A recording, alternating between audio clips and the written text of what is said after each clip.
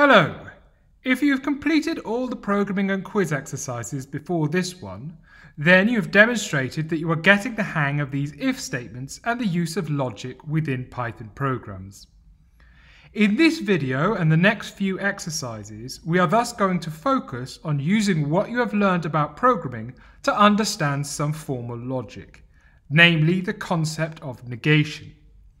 Before we get onto that, however, let's first briefly review what we have learned thus far and what we have discussed at length. We have learned that variables are addresses in memory and that we can store values in the state of a variable. We have then learnt that functions are used to change the state of these variables and that logic allows us to make the behavior of the program, i.e. what functions are executed, dependent on the state of the variables. In the exercises, we have focused on using logic in the form of if-else blocks such as the one shown here. Within these if-else blocks, the truth value of a logical proposition is determined.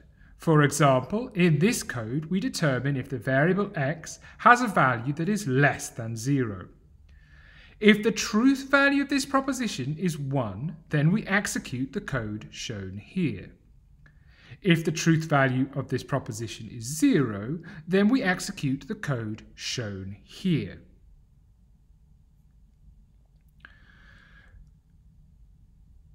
The concept from formal logic that we are going to introduce in this video allows us to express how this code works in a different way. We are introducing the negation of a logical proposition, which is the proposition that is guaranteed to be true if the original proposition, x is less than 0, in this code is false. Instead of stating that this code is executed if the proposition x is less than 0 is false, we can state that this code is executed when the negation of this proposition, in this case x is greater than or equal to 0, is true. The negation of a proposition is a completely abstract concept in formal logic. We thus do not need to explain what proposition we are considering when we discuss this concept. If we write a truth table for negation, we can thus simply say that A is a logical proposition we might want to conceive of. Any logical proposition can then be true or false, i.e. 1 or 0. The negation of the logical proposition, A, is written using the symbol shown here.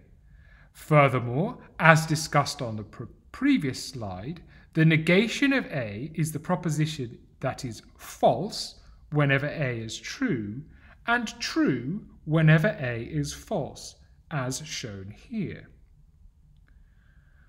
A concrete example of this negation is shown here. The negation of the proposition A is equal to B is A is not equal to B.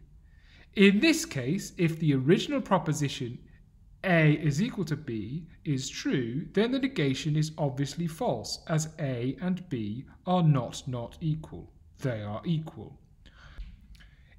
If, by contrast, the original proposition is false, then the negation of A and B is true, as A and B are not equal.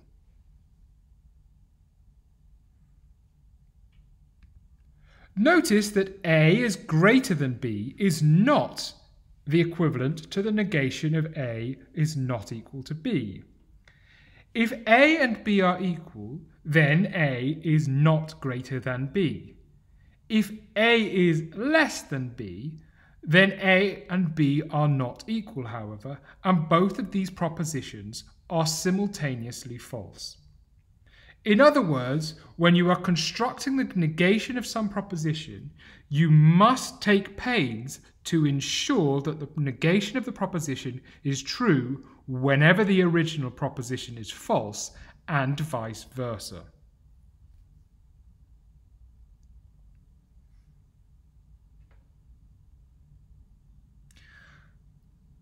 To summarise then, the negation of a proposition is another proposition. The negation is true if the original proposition is false, and the negation is false if the original proposition is true. Hopefully, this is reasonably clear. Before I move on, I just want to be clear on what we are doing within the programming exercises that follow, though. In the exercises thus far, we have started with an array of numbers such as the one shown here. We have then introduced a logical proposition and constructed a second array that contains the elements from the original way, array for which the proposition is true.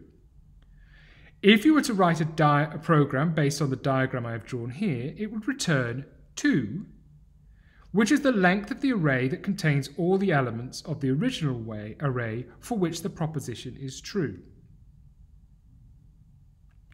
Critically, however, our function is not returning the logical proposition. We are instead using the logical proposition to calculate a number, i.e. an object which is different from the proposition.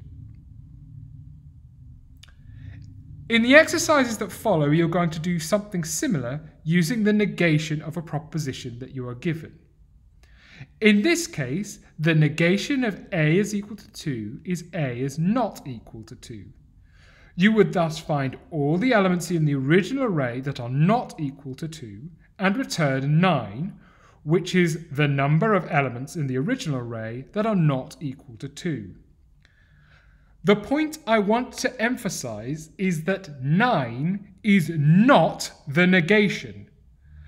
The negation of the proposition a equals 2 is a is not equal to 2.